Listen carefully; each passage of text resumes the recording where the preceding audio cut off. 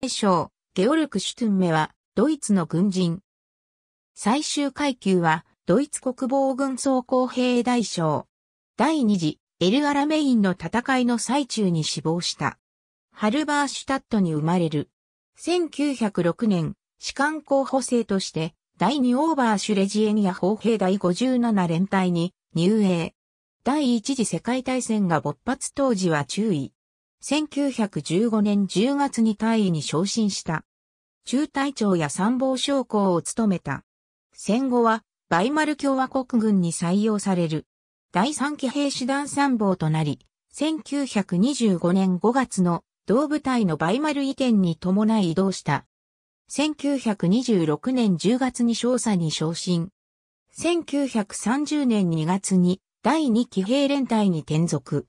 1931年2月に中佐に昇進し、同年10月より第1騎兵連隊長を務める。1933年以後も昇進を重ねるが、騎兵科に残っていた。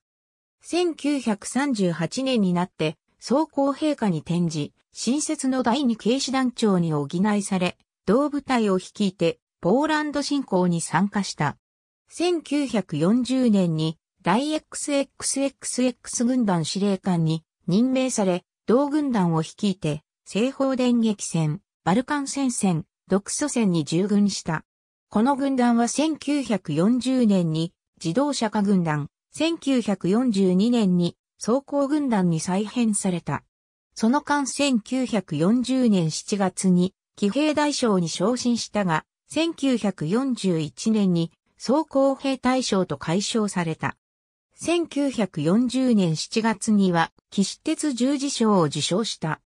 1942年6月には、ブラウ作戦を実行する第6軍配下の司令官の一人として配置についたが、直後にシュトゥンメの軍団に属する第23装甲師団の作戦部長、ライヒエル少佐が登場する飛行機が撃墜され、作戦計画書がソ連側に渡るという事態が発生した。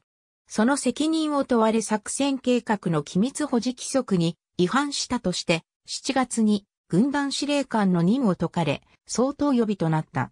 シュトゥンメは軍法会議で懲役5年の刑を言い渡されたが、上官のフェードア・ホンボック元帥が介入して数週間で釈放された。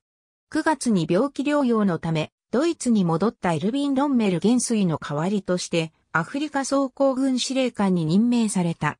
第二次エル・アラメインの戦いが始まった直後の10月24日、軍情報責任者であるビューフティンク大佐と共に戦況把握のため前線視察に出たが、ロンメルと違い護衛をつけたり無戦車を伴うことをしていなかったため、第90警視団の前線に向かう途中待ち伏せに遭い、射撃を受けた。ビューフティンクは頭部を撃ち抜かれ戦死、シュトゥンメ自身は心臓発作を起こして死亡した。